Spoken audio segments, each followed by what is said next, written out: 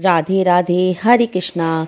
आप सबका कृष्णा दासी, कृष्ण दर्शन में बहुत बहुत स्वागत है दोस्तों। फागुन का महीना शुरू हो गया है और फागुन के महीने में भगवान शिव की, शिव परिवार की बहुत विधि विधान से पूजा की जाती है।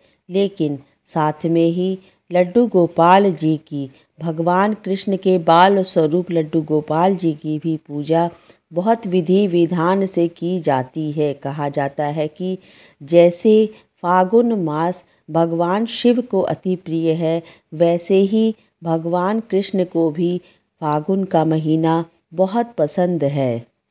हम सब लोगों को पता है कि वर्ष की सबसे बड़ी महाशिवरात्रि, सबसे बड़ी शिवरात्रि फागुन के महीने में ही कृष्ण पक्ष में आती है। और बहुत ही धूमधाम से मनाया जाता है। भगवान भोलेनाथ का बहुत बड़ा त्यौहार होता है और शिव भक्त जो है, शिवमय हो जाते हैं महाशिवरात्रि के दिन।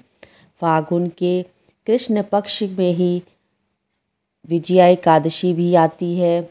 फिर उसके बाद फागुन के शुक्ल पक्ष में रंग भरी एकादशी, आमलिका एकादशी आती है। फागुन के कृष्ण पक्ष की में फुलेरा, दूज और एकादशी, जो कि रंग भरी एकादशी होती है, उसके बाद ही होली का उत्सव प्रारंभ हो जाता है, जो कि बहुत धूमधाम से वृंदावन धाम में भी मनाई जाती है। ठाकुर जी को होली का उत्सव बहुत प्रिय है, इसलिए होली बाके बिहारी जी के मंदिर में वृंदावन धाम में बहुत धूमधाम से मनाया जाता है। कहा जाता है कि इस संसार में सबसे पहले होली भगवान श्री कृष्ण ने ही मनाई थी। वे अपने ग्वाल बाल के संग होली खेले थे। इसीलिए ठाकुर जी को होली का त्यौहार बहुत ही ज़्यादा पसंद है और होली का उत्सव सबसे पहले ठाकुर जी ने ही शुरुआत की थी। पुराणों में तो यहाँ तक वर्णित है कि फागुन माह के फुलेरा दूज के दिन ब्रह्मा जी ने भगवान श्री कृष्ण और राधा रानी का स्वयं विवाह करवाया था वृंदावन के भांडीर वन में। ब्रह्मा जी ने स्वयं श्री राधा और कृष्ण का विवाह करवाया था। ऐसे में अगर आप भी अपने घर में बाल गोपाल लड्डू गोपाल जी को और राधा रानी जी को ले आना चाहते हैं, उनका विवाह कराना चाहते हैं, कोई शुभ काम करना चाहते हैं तो फुलेरा दूज का दिन अति उत्तम माना जाता है। फुलेरा दूज के दिन बिना कोई मुहूर्त देखे कोई भी आप शुभ काम कर सकते हैं अपने घर का, कोई भी मांगलिक काम कर सकते हैं, क्योंकि ये बहुत ही शुभ दिन माना जाता है।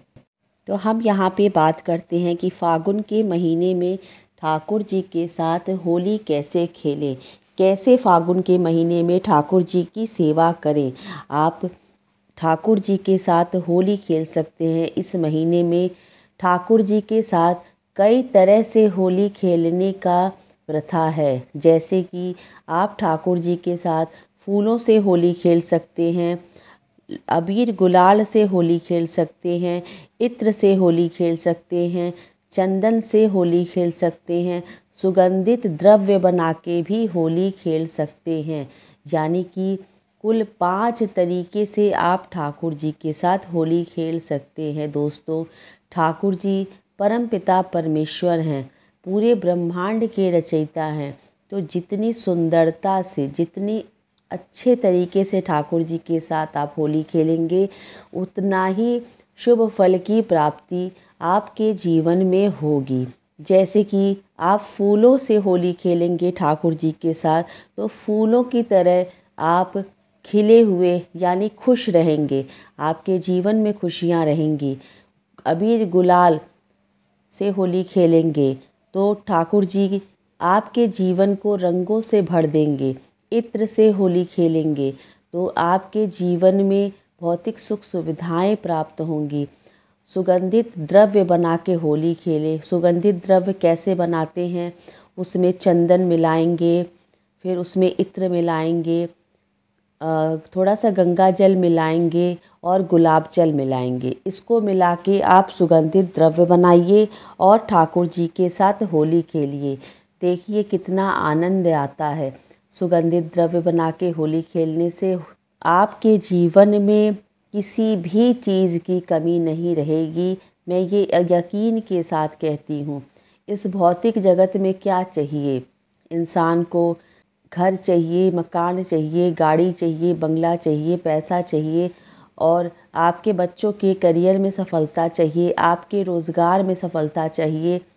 आपका जीवन शांतिपूर्वक और सुखपूर्वक बीते। आपके घर में सुख समृद्धि और सौभाग्य बनी रहे, यही सब चाहिए आज के भौतिक जगत में। तो जब आप सुगंधित द्रव्य से स्नान कराते हैं ये सारी सुविधाएँ आपको ठाकुर जी बड़ी सुलभता से प्राप्त कराते हैं।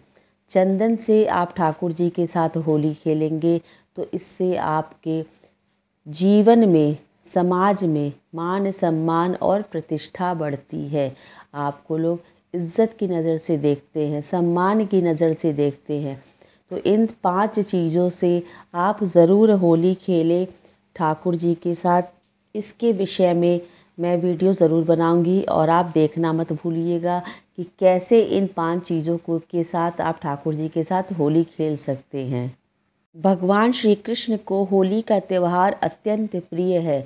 इसमें कोई भी असत्य बात नहीं है, क्योंकि आप देख सकते हैं वृंदावन धाम में बसंत पंचमी से ही होली का उत्सव प्रारंभ हो जाता है, यानी कि चालीस दिन तक होली खेली जाती है और कई तरह से होली वहाँ पे खेली जाती है। इसीलिए यह मानना है कि ठाकुर जी को होली खेलना अत्यंत पसंद है। इसलिए आप ठाकुर जी को स्नान कराइए। अभी थोड़ा हल्की हल्की सर्दियाँ हैं हल्के गुनगुने पानी से स्नान कराइए। स्नान कराने से पहले आप ठाकुर जी के साथ होली खेल सकते हैं। किसी दिन आप फूलों से खेल लीजिए होली, किसी दिन आप अबीर गुलाल से खेल लीजिए, किसी दिन आप चंदन से खेल लीजिए, किसी दिन इत्र से खेल लीजिए, किसी दिन सुगंधित द्रव्य से खेल लीजिए। तो इस तरह से कर कर के आप बारी बारी होली खेलिए ठाकुर जी के साथ और रंगीन वस्त्र धारण कराइए। होली का त्यौहार रंगों का त्यौहार है, इसलिए ठाकुर जी को रंगीन वस्त्र धारण कराइए तो बहुत ही अच्छा माना जाता है। क्योंकि व्रज में तो बसंत पंचमी से ही होली की शुरुआत हो जाती है और आप पूरे फागुन के महीने में ठाकुर जी के साथ होली खेल सकते हैं। आपको बता दें कि ब्रज में होली बसंत पंचमी से शुरू होती है, वहीं पे मथुरा में होली फुलेरा दूज से शुरू होती है। इसलिए फागुन के महीने में ज़रूर खेलें ठाकुर जी के साथ होली और सुंदर सुंदर श्रृंगार करें। रंग बिरंगे वस्त्रों को पहनाएँ ठाकुर जी को, उन्हें बहुत अच्छा लगेगा। उन्हें इत्र की मालिश करें, सेवा करें, चंदन से श्रृंगार करें, फूलों से श्रृंगार करें और ठाकुर जी को नित्य भोग लगाएँ। भोग में तुलसी पत्र अवश्य डालें। फागुन का महीना है। ठाकुर जी को हो सके तो मीठा भोग लगाएँ, माखन मिश्री का भोग लगाएँ और होली के उत्सव में तो घर घर नए नए और अच्छे अच्छे पकवान भी बनते हैं। तो आप चाहे तो कुछ कुछ ठाकुर जी को बना के आप भोग भी लगा सकते हैं। दोस्तों, दुनिया के रंगों में रंगने से कोई फ़ायदा नहीं है। रंगना है तो हमारे ठाकुर जी के रंग में रंगिए, क्योंकि वास्तविक रंग वही है।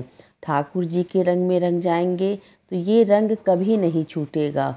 और दुनिया के रंगों में अगर रंगेंगे तो एक न एक दिन धोखा ज़रूर पाएँगे। इसलिए कोशिश करें कि ठाकुर जी के रंगों में रंगिए, भगवान श्री कृष्ण के रंगों में रंगिए, उनकी सेवा में लीन हो जाइए। और देखिए जीवन में आनंद ही आनंद रहेगा। फागुन के महीने में महाशिवरात्रि का त्यौहार आता है, जो कि बहुत बड़ा त्यौहार होता है, भगवान भोलेनाथ जी का कहा जाता है। महाशिवरात्रि के दिन ही महादेव और माता पार्वती का विवाह संपन्न हुआ था तो इस दिन ज़रूर करें भोलेनाथ जी की सेवा और अपने ठाकुर जी की सेवा। भगवान भोलेनाथ जी की सेवा पूजा करने से, यानी कि शिव परिवार की पूजा करने से, आपके दाम्पत्य जीवन में हमेशा मधुरता बनी रहती है। शिव परिवार ही एक ऐसा परिवार है जो पूर्ण रूप से संपन्न है। इसलिए महाशिवरात्रि, जो वर्ष में बड़ी शिवरात्रि मानी जाती है, उस दिन आप शिव परिवार की, पूरे शिव परिवार की पूजा करें और विधि विधान से पूजा करें। भगवान भोलेनाथ, माता पार्वती, गणेश कार्तिकेय जी के साथ भी आप होली खेलें, क्योंकि ये फागुन का महीना रंगों का महीना माना जाता है। आप ज़रूर अबीर गुलाल लगाएँ और शिव जी को पूजा कर, शिव जी की विधि विधान से पूजा करें। महाशिवरात्रि के दिन हो सके तो आप अखंड ज्योत ज़रूर जलाइएगा। अखंड ज्योत जलाते समय जो भी कामना आप रखेंगे अपने मन में, वो अवश्य पूरी होती है। एक चीज़ और, फागुन के महीने में ठाकुर जी को, लड्डू गोपाल जी को सुगंधित सेवा यानी इत्र की सेवा आप ज़रूर दें। जो भी इत्र आपको मिले, गुलाब का, चंदन का, चमेली का, बेली का, आप सुगंधित सेवा ठाकुर जी को ज़रूर करें। इससे आपके जीवन में सुख सुविधाओं की कमी कभी नहीं रहती है। रंग बिरंगे पुष्पों से सेवा ज़रूर करें ठाकुर जी को, क्योंकि वैसे भी फुलेरा दूज के दिन तो फूलों से होली खेली जाती है और ठाकुर जी को पुष्प सेवा अति पसंद है। इस महीने में आप चाहे तो अपने द्वार पे तोरण भी लगा सकते हैं। तोरण लगाने से घर में सकारात्मक ऊर्जा का प्रवेश होता है और निगेटिविटी दूर होती है। तोरण लगाने के लिए आप आम के और अशोक के पत्तों का इस्तेमाल कर सकते हैं और मार्केट में भी तोरण बना बनाया मिलता है। घर की मेन गेट पे तोरण या बंदरवान लगाने से घर में पॉजिटिविटी आती है और नेगेटिविटी दूर होती है। अगर आपके पास लड्डू गोपाल जी नहीं है तो आप राधा कृष्ण की जो भी मूर्ति या फ़ोटो है, उन्हीं से आप पूजा कर सकते हैं। आप चाहें तो फागुन के महीने में लड्डू गोपाल जी का शिव विग्रह घर में ले आ सकते हैं।